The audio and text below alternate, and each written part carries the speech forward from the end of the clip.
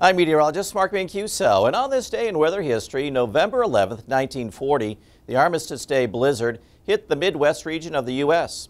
An intense low pressure system tracked from the southern plains northeastward into Wisconsin, pulling Gulf moisture up from the south and pulling down a cold Arctic air mass from the north. Rain, then sleet and snow began to fall.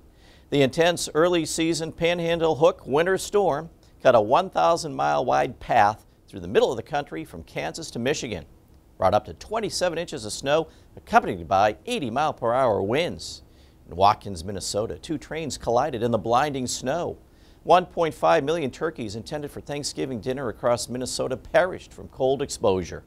On Lake Michigan, dozens of sailors died on small boats and three cargo freighters. Along the Mississippi River, hundreds of duck hunters were caught in the storm. Due to a poorly predicted forecast, they were ill-equipped for the conditions. Many took shelter on the small islands on the river, but the 50 mile per hour winds and 5 foot waves overcame their encampments. Dozens froze to death in the single digit temperatures that night. It caused 154 fatalities and $2.2 million in damage at the time. I'm Mark Mancuso.